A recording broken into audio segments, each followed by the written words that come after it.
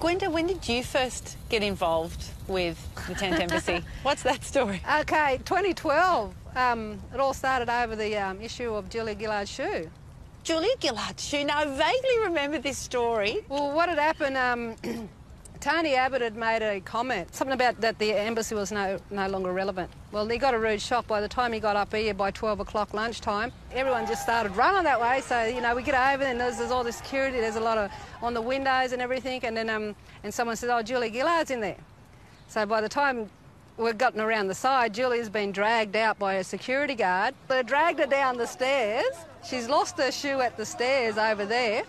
And then they shoved her in the car and they drove off. But one of the children picked it up. So they rang me up and says, um, you need to return the shoe. So How do you return a shoe Well, back we into all- Parliament? I stand before you as an ambassador of goodwill.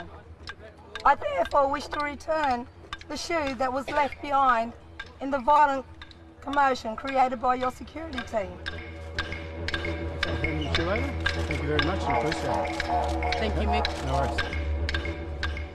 Wasn't uh, Julie Gillard referred to at the time as Gingerella? Gingerella. Which I yeah. loved. Yeah. That was a great term, Gingerella. It's such an amazing story, and you know, it's sort of funny and it makes us kind of laugh. But then, what made you kind of stay?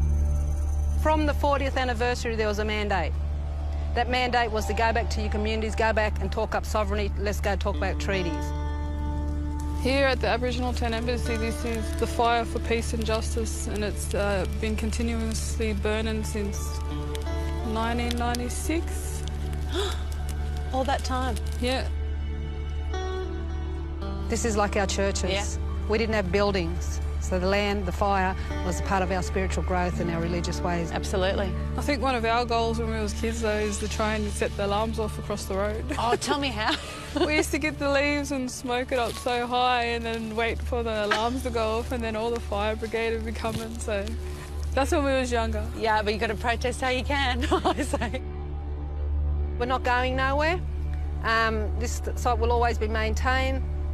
It's about coming together now and discussing what do we actually need on this site, you know, but who's going to help us do this? We'll do it ourselves. Hmm.